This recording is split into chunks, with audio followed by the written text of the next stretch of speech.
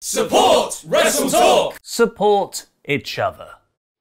Thank you to Twitter user MangaGirl232 for that intro taken from last night's Quizzlemania, where I came last yet again, meaning I had to wax my very hairy chest in punishment. The streak doesn't just live in my loss record, but also from my bloody tears crying from my now hairless nipples. And even with all that pain and punishment, all everyone's talking about is David Starr's mum. But the real story here is that because of all of your incredible support, we raised almost $7,000 for the mental health charity Calm, the campaign against living miserably. From all of us here at Wrestle Talk and our Quizzlemania guests, thank you so, so much for helping support each other. Now, news! After last night's episode of NXT saw Drake Maverick, Maverickception worked. When his job back with WWE, he might not be the only wrestler fired in April re-signing with the company. According to Bryan Alvarez on Wrestling Observer Live yesterday, several wrestlers who were part of WWE's mass releases have been offered deals to come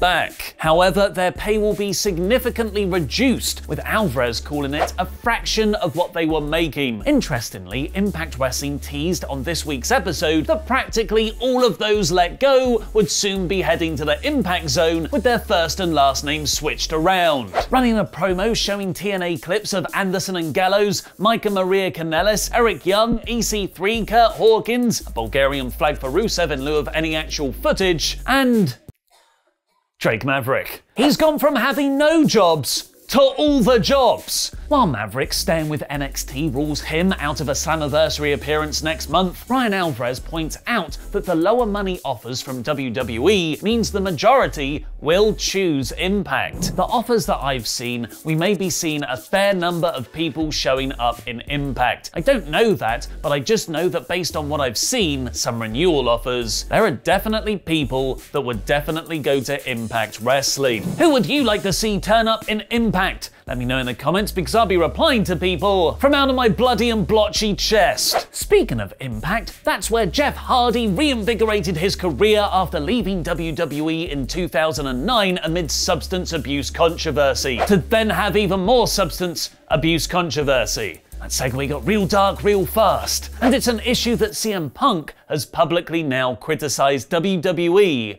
for exploiting. Last Friday's SmackDown opened on a very controversial angle, where Hardy was framed for an intoxicated hit and run on Elias. Jeff was arrested, but later cleared and seemingly dropped back off at SmackDown once they realised he wasn't drunk. Which still, in kayfabe, doesn't excuse running over a guy, as Hardy was still their main suspect, drunk or not. Hardy was arrested twice last year for substance-related incidents, the latter of which was a DWI only in October. It's a storyline that's meant to be exploitative, which has made many viewers feel uncomfortable. Jeff's own brother Matt seemingly disapproved of the angle, tweeting as it happened on SmackDown, just to reiterate, I'm happy to be working at AEW for Tony Khan on Wednesdays. And now Jeff's once rival CM Punk, who actually used Hardy's substance abuse issues as heel promo material throughout their 2009 feud in WWE, has said on WWE Backstage, My thing with this segment and this story is that I believe somebody's sobriety is very fragile and very important. I think cleaning your life up and being sober is something to be proud of. We can champion that in different ways. I think this is the wrong way to go about it. You just don't put him in front of that moving car. But this isn't the only controversy WWE has experienced over the last week.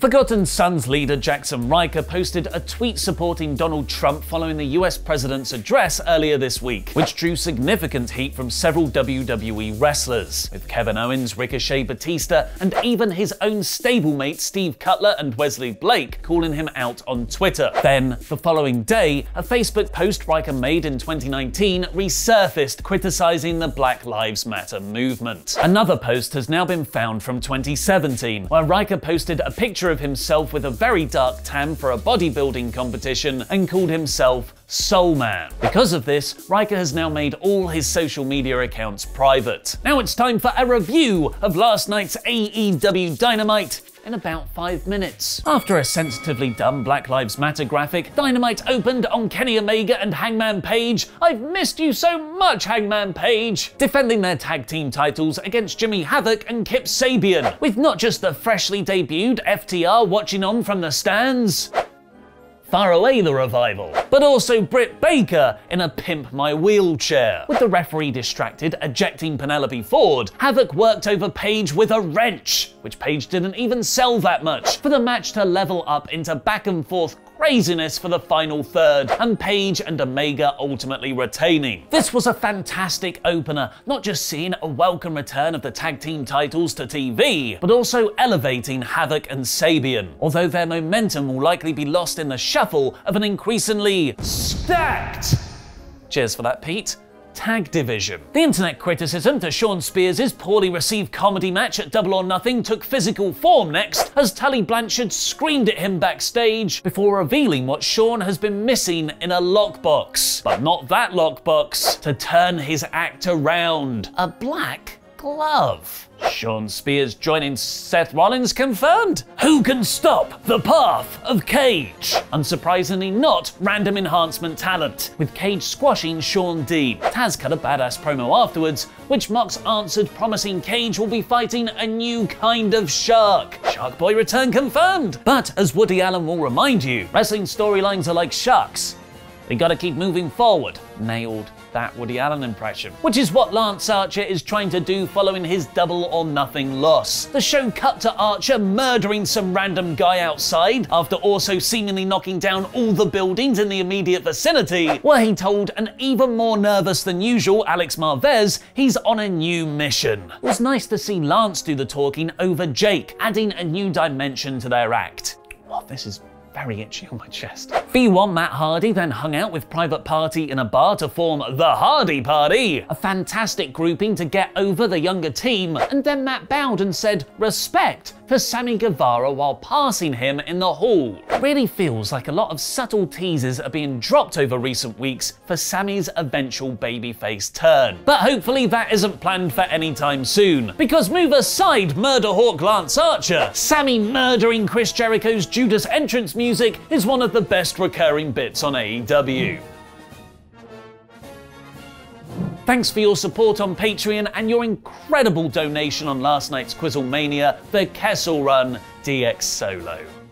Chris Jericho took on Colt Cabana after blaming him for letting Mike Tyson get away last week. But despite Cabana's amazingly athletic offense, everyone falls to the Judas elbow. It's Judas effective. In what was interestingly only Jericho's third singles match of the year so far. Jericho then called out the baddest man on the planet, but be careful what you wish for, because someone far more terrifying and relaxed emerged from the entrance. Orange Cassidy. Cassidy ran wild with his hands in his pockets, seemingly setting up an Inner Circle versus Best Friends program after the heels jumped him last week. Britt Baker then had a brilliant training montage, not really doing much on her wheelchair, complete with bonus Tony Schiavone, which led into her giving the following Big Swole versus Nyla Rose match evils from her giant podium-like chair from the crowd. Women's champion Shida was also watching on from ringside to see Swole get a few near falls, but Rose eventually with a spinebuster powerbomb. Swole got a bit of heat back, chasing off Robo Baker as her wheelchair became part of a larger moving platform. But while it's nice to see the women's division telling multiple stories again, this still isn't an effective build on Double or Nothing's momentum. Not doing much at all for the women's title or the victorious Kris Statlander. Tony Schiavone interviewed Darby Allin, who continued building his storyline with Taz and Cage, even though Taz and Cage are feuding with Moxley. I'm seeing double here.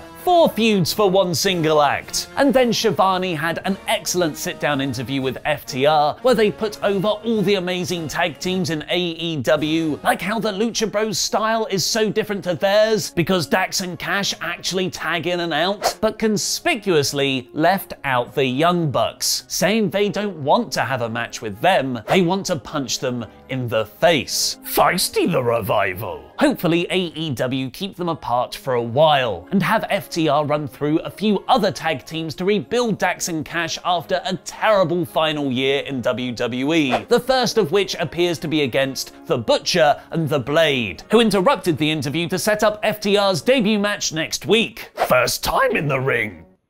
FTR. Following his loss to Jericho and to Archer in the TNT title tournament, Brodie Lee then approached Cabana backstage about joining Dark Order, which Colt didn't fully rule out. If this happens, please rechristen him as Scotty Goldman. And the main event saw the first installment of Cody doing everything he can to get over new talent, and yes, you better believe that involves blading his own forehead. Cody and Jungle Boy had a great TV match, with Cody aggressively going against one of the purest white meat, blue-eyed baby faces in recent times. The finish came after a big top rope fall through a table spot, which was followed by Cody winning with a crossroads and the Nightmare family wholesomely celebrating with Jurassic Express for really nice feels to close the show. And right now, some good feels is what we all need. While nowhere near as newsworthy as last week's 5 out of 5 show, this was a really solid episode. Like Raw, there were a lot of recaps on this pre-taped show, but unlike Monday night, nothing ever dragged here. And that's definitely because Tony Khan pays me all that money, not because AEW has a far more organic, naturalistic presentation. This week's Dynamite is a high